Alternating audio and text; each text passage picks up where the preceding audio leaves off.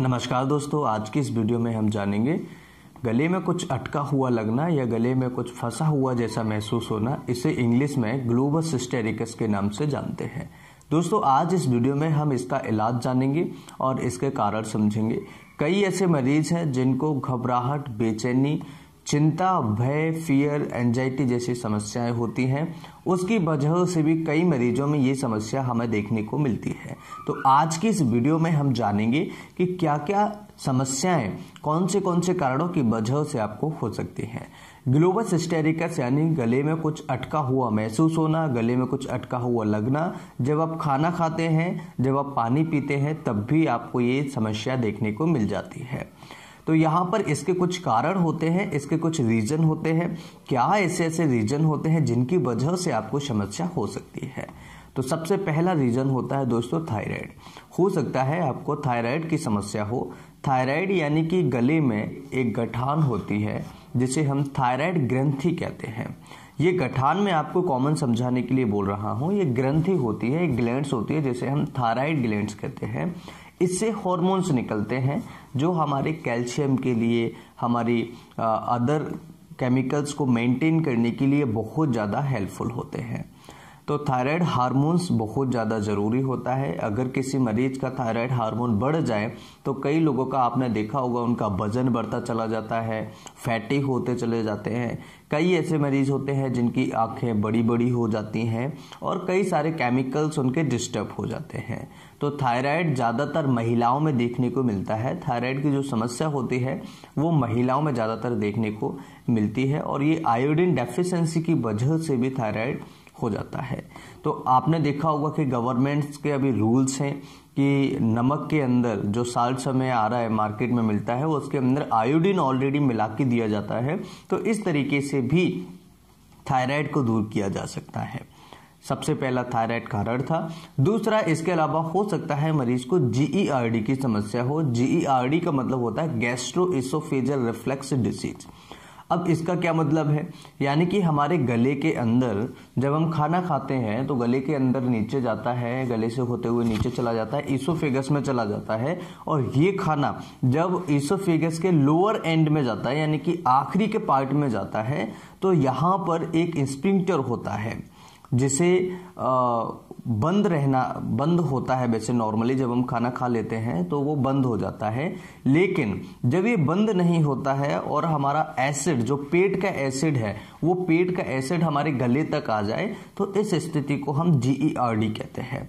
तो जीईआरडी की वजह से भी आपको ऐसी समस्या देखने को मिल सकती है, क्योंकि पेट का एसिड जो है, जो खाना पचाने के लिए यूज़ होता है, खाना पचाने में हेल्प करता है, वो एसिड अगर हमारे गले तक आता है तो गले में काफ़ी सारी प्रॉब्लम्स करेगा, गले में स्वेलिंग कर सकता है गले में छाले बना सकता है, गले में दर्द कर सकता है, गले में इरिटेशन कर सकता है और आपको महसूस हो सकता है कि गले में कुछ अटका हुआ है।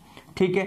इसके अलावा तीसरा दोस्तों कारण होता है एसिडिटी एसिडिटी और जीईआरडी e दोनों एक साथ ही लगभग लगभग एक जैसी परेशानियाँ हैं, लेकिन जीईआरडी e में जो इंस्पेक्टर है वो खुल खुल जाता है और ऊपर एसिडिटी आ जाती है एसिड आ जाता है।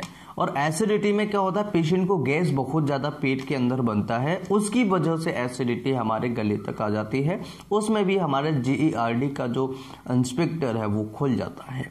ठीक है? तो जीईआरडी e और एसिडिटी में ऐसा हो सकता है। इसके अलावा हो सकता है किसी मरीज़ को बहुत ज़्यादा डिप्रेशन हो एंजाइटी हो या चिंता भय हो, यानी कि एक स्पेसिफिक बीमारी से या एक स्पेसिफिक किसी कारण की वजह से मरीज़ बहुत ज़्यादा चिंता करता है, मरीज़ बहुत ज़्यादा एनजीएस है, उस मरीज़ को बहुत ज़्यादा एंजाइटी है, मरीज़ बहुत ज़्यादा डिप्रेशन में रहता है तो ऐसी स्थिति में भी उस मरीज़ को यहाँ पर कुछ अटका हुआ महसूस हो सकता है। अब ऐसा क्यों होता है? क्या है कि हमारे शरीर के अंदर नर्वस सिस्टम जो होता है वो फैला हुआ है। अब नर्वस सिस्टम जो आ, हमारा डिस्टर्ब होता है जब हमारा नर्वस सिस्टम को कोई एक ऐसी पर्टिकुलर चीज़ डिस्टर्ब करती है तो उसकी वजह से हमारी यहाँ की जो नर्व सिस्टम्स होते हैं वो डिस्टर्ब हो जाते हैं और उनको लगता है कि कहीं ना कहीं कुछ गड़बड़ चल रहा है। तो ऐसी स्थिति में भी आपको ये समस्या देखने को मिल सकती है। तो अगर कोई पेशेंट ज़्यादा एनजाइटी उस मरीज़ को है, ज़्यादा डिप्रेशन में है पेशेंट बहुत ज़्यादा भय, डर लगता है, उसको फियर है।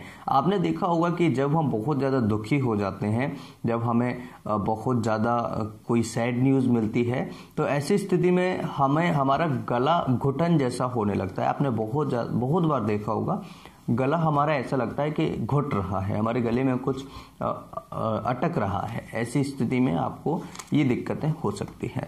इसके अलावा और क्या रीजन हो सकता है? दोस्तों, हो सकता है कि ईसोफेगस का कैंसर हो मरीज़ को, यानी कि जो खाने की नली है उसका कैंसर हो, या उसके आसपास कोई ट्यूमर हो, गठान बन रही हो, या फिर ईसोफेगस के अंदर ही कोई गठान बन रही हो, उसके कारण भी हमें ये समस्या देखने को मिल सकती है।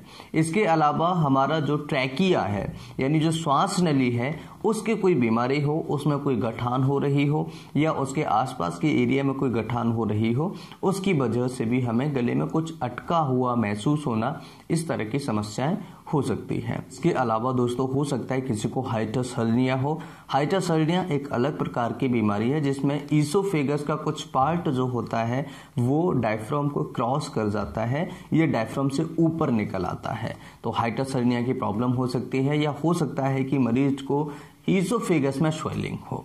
अब बात करते हैं दोस्तों इसका इलाज क्या है और इसके कुछ सिम्टम्स क्या है। तो जब भी आप खाना खाएँगे या आपको थोड़े बहुत आ, किसी पर्टिकुलर चीज़ पे ध्यान चला जाए या आप बहुत ज़्यादा दुखी हैं एनजी एनजीएस हैं तो ऐसी स्थिति में आपको गले में कुछ अटका हुआ महसूस हो सकता है मरीज़ को कोई भी सिम्टम्स नहीं है। इसके अलावा फीवर नहीं है हाथ पैरों में दर्द नहीं है हेडेक नहीं है बाकी कोई भी उस मरीज़ को समस्या नहीं है केवल उस मरीज़ को लगता है कि मेरे गले में कुछ अटका हुआ है। तो आज इस वीडियो में इसका इलाज हम समझेंगे और प्रॉपर तरीके से कैसे ठीक कर सकते हैं, घर पर रह करके कैसे ठीक कर सकते हैं, बहुत ही स्पेसिफिक स्पेशल मेडिसिन इस वीडियो में आप सभी को मैं बताऊँगा। सो so, सबसे पहले मेडिसिन है ग्रेफाइटिस जिनको लगता है कि गले में कुछ अटका हुआ है गले में कुछ फंसा हुआ है तो ग्रेफाइटिस बहुत स्पेसिफिक मेडिसिन है.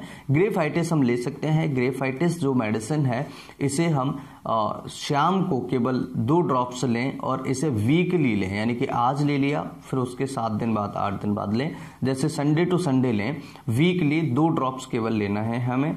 इसके अलावा, इस मेडिसिन के अलावा दूसरी मेडिसिन है दोस्तों लैकेसिस लैकेसिस का मरीज़, उस मरीज़ को अगर हमने टाई बाँध दी तो उस मरीज़ को बहुत ज़्यादा इरिटेशन होगा। उसको लगेगा कि कोई मेरा गला दबा रहा है, मेरा गले को किसी ने बाँध दिया है, टाई लगाने से भी। और महिलाओं की अगर हम बात करें तो वो क्रॉस लेग करके महिलाएँ बैठती हैं और महिलाएँ की जो चाल होती है, आप देखेंगे, जब महिला पेशेंट्स चलते हैं तो उनकी चाल एक अजब टाइप की होती है जैसे सांप चलता है ना लहरा के इस टाइप की उनकी चाल होती है लाइकेसिस के मरीज़ की। एक तो मैं एक कॉमन सिम्टम्स बता रहा हूँ इसके बाद स्पेसिफिक बहुत सारे सिम्टम्स होते हैं। मरीज़ को अगर मरीज़ जो फीमेल मरीज़ है उसको अगर गले में कुछ डाल दिया या उस, उसने अगर कोई आ, कोई ऐसा लॉकेट वगैरह पहना हुआ है या अगर वो मरीज़ मंगलसूत्र भी पहने हुए हैं, तब भी उस मरीज़ को उससे भी इरिटेशन होता है, उससे भी लगता है कि मेरा गला जकड़ जकड़ सा रहा है। इस तरह के मरीज़ में लेकेसिस का मरीज़ होता है और लेकेसिस के मरीज़ में हम लैकेसिस 200 पोटेंसी दिन में दो बार सुबह एंड शाम को दे सकते हैं। बहुत अच्छे रिजल्ट्स आपको मिलेंगे और गले में कुछ अटका हुआ महसूस हो रहा है, उसे आप ठीक कर सकते हैं। इसके साथ में दो तीन चीज़ें आपको ध्यान रखनी होगी, जैसे कि गुनगुना पानी पिए और इसके अलावा अगर कोई चिंता, भय एंजाइटी जिसको हो रही है, उसे कम करें। एंजाइटी फियर इससे करने से कुछ नहीं होगा। आपकी बीमारी ठीक नहीं होगी, आपकी बीमारी बढ़ेगी। इसलिए एनजाइटी को यानी चिंता को, भय को फियर को डिप्रेशन को कम करने की कोशिश करें। सुबह मॉर्निंग वॉकिंग करें। अगर आप वॉकिंग नहीं कर सकते हैं तो सुबह अपनी छत पर घूमें, जिससे कि आपका मन फ्रेश हो। योगा करें मेडिटेशन करें और गुनगुना पानी ज़रूर पिए, जिससे कि आपकी समस्या ठीक हो सके। उम्मीद करता हूँ कि ये वीडियो आप सभी के लिए बहुत ज़्यादा हेल्पफुल होगा। वीडियो अच्छा लगे तो लाइक करें। दोस्तों, अगर आपने हमारे चैनल को अभी तक सब्सक्राइब नहीं किया है तो लाल बटन दबाकर सब्सक्राइब करें और वेल नोटिफिकेशन ऑल पर क्लिक करें, जिससे आने वाले वीडियो का नोटिफिकेशन आप तक आसानी से मिल सकेगा, आप तक पहुँच सकेगा। फिर मिलते हैं इसी तरह की किसी नई वीडियो में। तब तक के लिए नमस्कार। जय हिंद।